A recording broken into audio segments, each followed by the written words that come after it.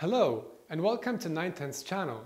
In this video, we'll be taking a closer look at LiDAR systems and DJI's new enterprise payload, the Zenmuse L1 LiDAR sensor.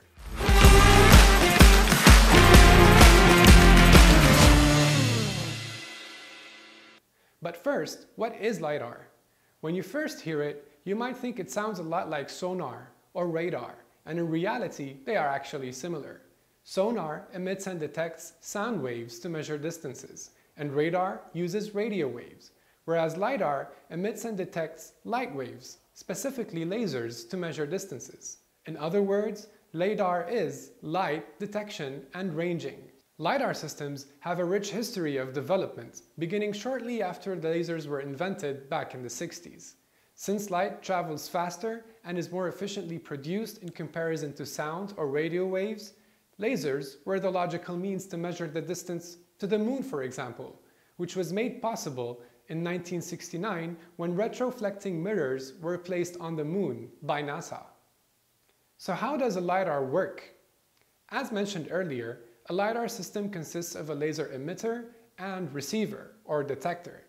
And since the speed of light is constant, a LiDAR system can measure the time it takes for a laser pulse to return to the detector, multiply it by the speed of light, and divide it by 2 to get the distance in high accuracy and in speed of light.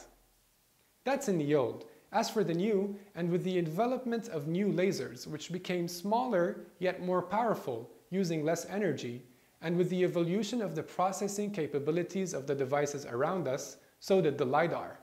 To a point that you might even have one in your smartphone today, as it helps in face detection or building an accurate model of your surroundings for augmented reality applications. So LiDARs are all around us these days, but it really depends on the components, like the power of its laser emitters, the sensitivity of the detectors, the processing ability and other variables to determine the function. One of the most important functions of a LiDAR is to scan and survey sites to create a highly accurate 3D model.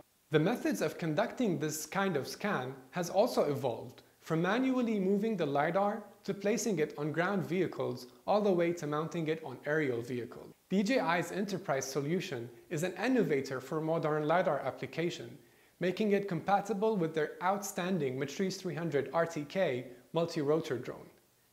Mounting a LiDAR on the M300 RTK leverages the ability of the drone to get closer to objects of interest safely and efficiently in comparison to fixed-wing UAVs while still being able to scan up to 2 square kilometers in one flight in less than half an hour.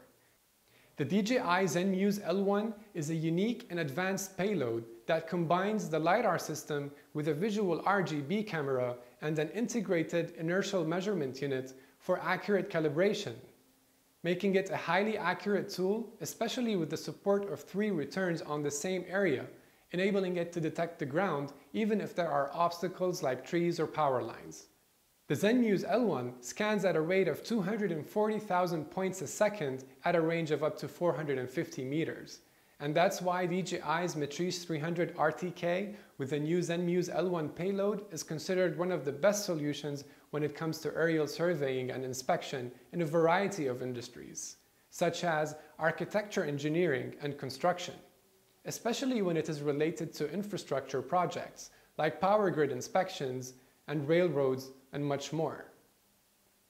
We hope that you liked this video. Go ahead and hit the subscribe button for all that's new in the world of drones.